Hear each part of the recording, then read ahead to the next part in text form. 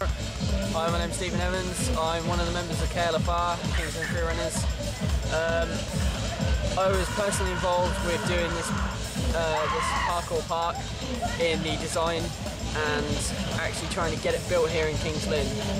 It was a major a major three year uh, three year struggle to get it, but we finally done it and we finally convinced the public and other mem- uh, and members of the council and other various places that it's something that's needed. It's not just it's not just a place where it's oh, it's just going to be used and abused and then that's it. It's it's done and dusted. It's, it stops everyone from getting into hassle doing it in town, doing it on uh, rooftops, because now we have we have our own facility where it's available to us without us getting in any hassle.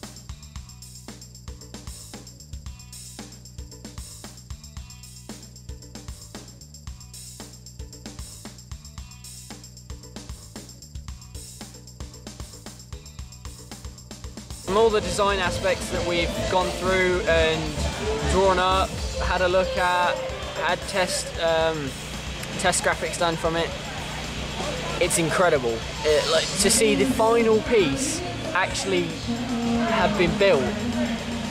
It just looks amazing. There's no problem whatsoever using any of the structure. There's nothing wrong with it. It's 100% usable and I'm, certainly going to be on it as much as I can be. Parkour and free running has affected me in a very good way. It's, it's made me a lot better of a person. It's made me chill out a lot more. It's made me realise that there's, there's bigger things out there than like having anything trouble-wise or anything to do with hassle. Like being young, I used to obviously, as everyone would, have uh, moments of like um, antisocial behaviour.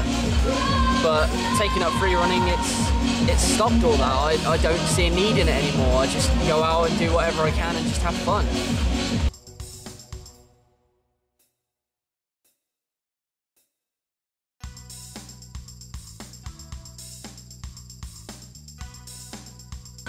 Hello, I'm Sarah and I'm a PCSO uh, at Kings Lynn.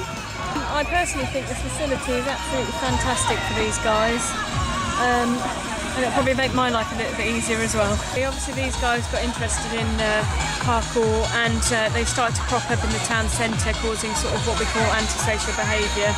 Um, using buildings, uh, etc. to obviously uh, do their sport and uh, this is uh, how we've obviously uh, come to where we are today and uh, they've got this lovely facility. And I can see this uh, people uh, travelling from quite some distance, Cambridge, Norwich, Peterborough, to come and use this facility as well and it's obviously ideally located next to the train station. I believe that um, obviously try and encourage them to get involved in this and hopefully positive things will come out of it. So Nick.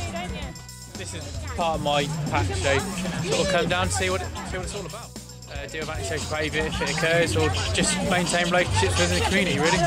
All parts of it, young, old, everyone. And we know some of the guys from in town, the parkour or Kings Lynn Club, so because they're sort of running and jumping on areas they shouldn't have been, but now they've got this, they can they can run and jump to their heart's content. So yeah, we're happy that this is here.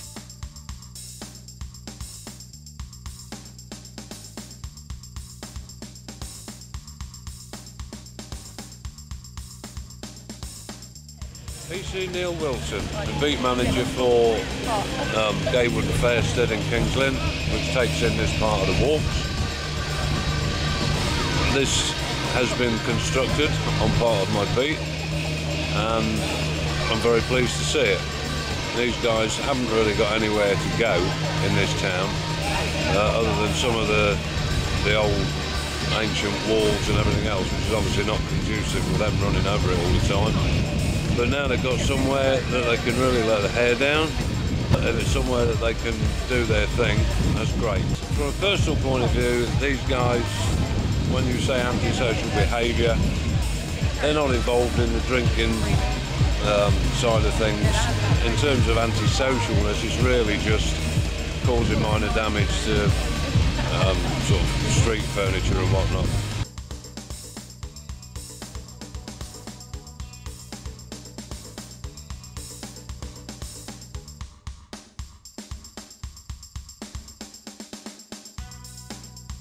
My name's Jamie Finney.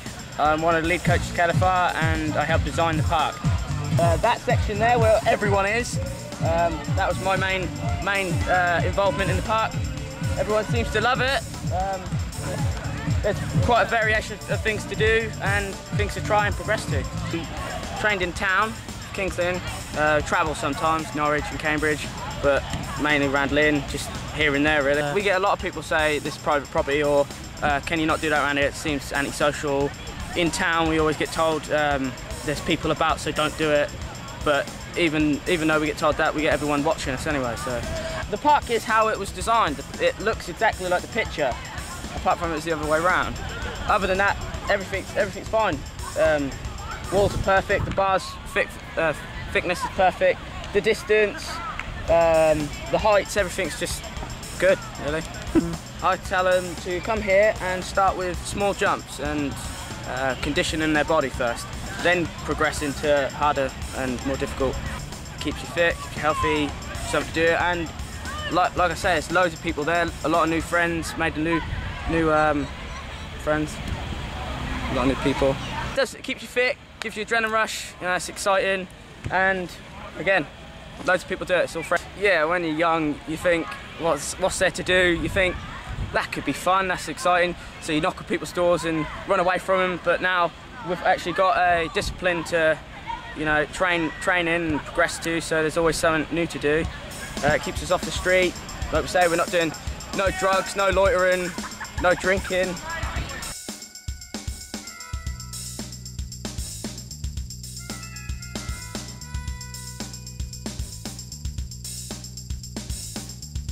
I'm Sarah Gosling. I'm grant manager with WREN. We provide grant funding for community projects throughout the UK uh, surrounding landfill sites owned by FCC Environmental. Our funding is typically given to play areas, recreation grounds, and this one's fantastic. Such different projects.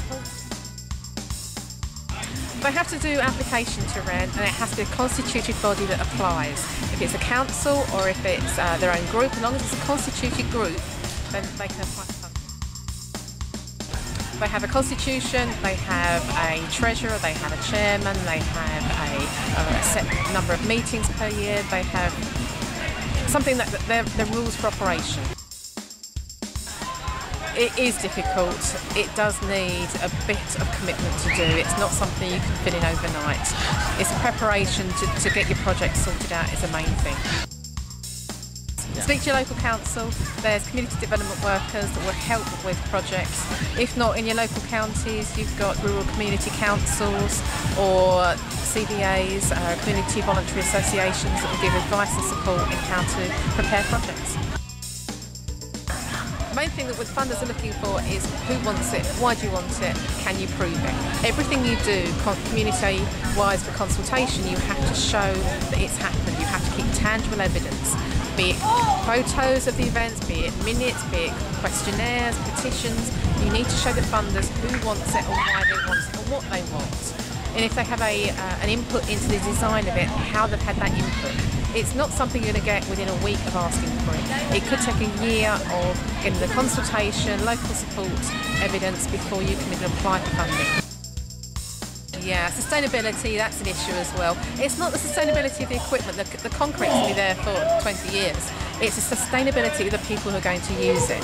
Here at Kings Lynn, they have the training centre set up where they do courses every week for parkour training. If you've got something that, that can do that, can offer the training for the young ones coming up and offer support for how to learn, then that's going to keep it sustainable. And you get people using it week, out, week in, week out for years to come.